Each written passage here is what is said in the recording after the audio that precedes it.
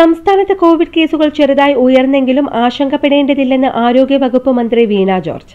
ഇപ്പോൾ ബാധിച്ചിരിക്കുന്നത് ഒമിക്രോൺ വകഭേദമാണ്. പരിശോധനകളിൽ മറ്റു വകഭേദങ്ങൾ കണ്ടെത്തിയിട്ടില്ല. കോവിഡിനൊപ്പം ജീവിക്കുക എന്നതാണ് പ്രധാനം. എല്ലാവരും മാസ്ക് നിർബന്ധമായും ധരിക്കുക. കിടപ്പ് രോഗികൾ വയോജനങ്ങൾ എന്നിവരെ സംരക്ഷിക്കാനുള്ള പ്രവർത്തനങ്ങൾ നടത്തണം. രണ്ടാം ഡോസ് വാക്സിൻ എടുക്കാനുള്ളവരും പ്രിക്വേഷൻ ഡോസ് എടുക്കാനുള്ളവരും അതെടുക്കേണ്ടതാണ്. ആരോഗ്യ പ്രവർത്തകർ നിർബന്ധമായും പ്രിക്വേഷൻ ഡോസ് എടുക്കണം. വളരെ ശക്തമായ ബോധവത്കരണം നടത്തണമെന്നും മന്ത്രി നിർദ്ദേശിച്ചു. വിദ്വേഷ പ്രസംഗ കേസിൽ ജനപക്ഷം നേതാവ് പി സി ജോർജിന് ചോദ്യം ചെയ്യലിന് ഹാജരാകാൻ ആവശ്യപ്പെട്ട് വീണ്ടും പോലീസിന്റെ നോട്ടീസ്. തിങ്കളാഴ്ച രാവിലെ പതിനൊന്ന് മണിക്ക് തിരുവനന്തപുരം ഫോർട്ട് അസിസ്റ്റന്റ് കമ്മീഷണർ ഓഫീസിൽ എത്താനാണ് നിർദ്ദേശം. തൃക്കാക്കര ഉപതെരഞ്ഞെടുപ്പിനിടെ പി സി ജോർജിനോട് ഹാജരാകാൻ ആവശ്യപ്പെട്ട് നോട്ടീസ് നൽകിയിരുന്നു. വിദ്വേഷ പ്രസംഗ കേസിൽ ജാമ്യം കിട്ടിയ ശേഷം ഹാജരാകാൻ ആവശ്യപ്പെട്ടായിരുന്നു നോട്ടീസ്.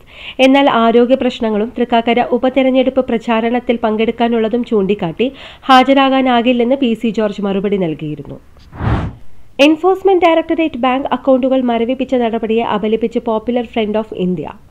കഴിഞ്ഞ കുറച്ച് വർഷങ്ങളായി സംഘടനയ്ക്കെതിരെ തുടരുന്ന അടിച്ചമർത്തൽ നടപടികളുടെ ഭാഗമാണ് ഇ ഡിയുടെ ഏറ്റവും പുതിയ ഈ നടപടിയെന്ന് ബാംഗ്ലൂരിൽ നടന്ന വാർത്താ സമ്മേളനത്തിന് ശേഷം സംഘടന പുറത്തിറക്കിയ വാർത്താക്കുറിപ്പിൽ പറയുന്നു.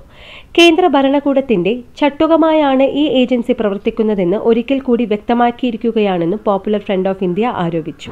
കോൺഗ്രസ് വിട്ടതിനു പിന്നാലെ ബി ജെ പിയിൽ ചേർന്നു ഹാർദിക് പാട്ടീൽ. ഗുജറാത്ത് തെരഞ്ഞെടുപ്പ് നടക്കാൻ മാസങ്ങൾ മാത്രം ബാക്കി നിൽക്കെയാണ് ഹാർദിക്കിന്റെ ചുവടുമാറ്റം. ഗുജറാത്തിലെ ഗാന്ധിനഗറിലുള്ള ബി ജെ പി ഓഫീസിലെത്തിയ ഹാർദിക് പാട്ടേലിനെ കാവിഷാളും തലപ്പാവും ധരിപ്പിച്ചാണ് പ്രവർത്തകർ സ്വീകരിച്ചത്. ബി ജെ പി സംസ്ഥാന അധ്യക്ഷൻ സി ആർ പട്ടേലും മുൻ ഉപമുഖ്യമന്ത്രി നിതിൻ ഭായ് പട്ടേലും ചടങ്ങിന് എത്തിയിരുന്നു. റഷ്യയുടെ എല്ലാ ലക്ഷ്യങ്ങളും കൈവരിക്കുന്നതുവരെ യുക്രൈനിലെ പ്രത്യേക സൈനിക നടപടി തുടരുമെന്ന് ക്രൈംലൈൻ വക്താവ് ദിമിത്രി പൊസ്കോവ് പറഞ്ഞു. ഡൊനെസ്ക് ലുഹാൻസ് മേഖലയിലെ ആളുകളെ സംരക്ഷിക്കുകയാണ് പ്രധാന ലക്ഷ്യങ്ങളിലൊന്നെന്നും അവരുടെ സംരക്ഷണം ഉറപ്പാക്കാൻ നടപടികൾ കൈക്കൊണ്ടതായും ചിലത് ഫലവത്തായതായും പൊസ്കോവ് പറഞ്ഞു. യുക്രൈനിലെ നാസി അനുകൂല സായുധ സേനയിലും ദേശീയവാദികളിലും നിന്ന് നിരവധി കേന്ദ്രങ്ങൾ മോചിക്കപ്പെട്ടതായി യുക്രൈനിലെ അധികാരികളെ നവവാസികളും ദേശീയവാദികളുമാണെന്ന റഷ്യയുടെ ആരോപണം ഉദ്ധരിച്ച് അദ്ദേഹം പറഞ്ഞു.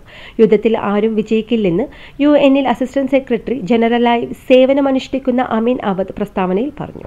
ബ്ലസി പൃഥ്വിരാജ് കൂട്ടുകെട്ടിൽ ഒരുങ്ങുന്ന Aadujeevitham സെറ്റിലെത്തി A R Rahman. A R Rahman തന്നെയാണ് ഇക്കാര്യം സമൂഹ മാധ്യമങ്ങളിലൂടെ അറിയിച്ചത്. രണ്ട് ദിവസത്തേക്ക് ഫോണില്ല ഇന്റർനെറ്റ് ഇല്ല. ആകെ കൂട്ടിനുള്ളത് ഒട്ടകങ്ങളും ആടും മാത്രമാണ് എന്ന കുറിപ്പോടെയാണ് അദ്ദേഹം വിശേഷം പങ്കുവച്ചത്. ഇരുപത്തെട്ട് വർഷങ്ങൾക്ക് ശേഷം എ ആർ റഹ്മാൻ മലയാളത്തിലേക്ക് തിരിച്ചെത്തുന്ന ചിത്രം കൂടിയാണിത്. പൃഥ്വിരാജും എ ആർ റഹ്മാൻ എത്തിയതിന്റെ സന്തോഷം സമൂഹ മാധ്യമങ്ങളിലൂടെ പങ്കുവച്ചിട്ടുണ്ട്.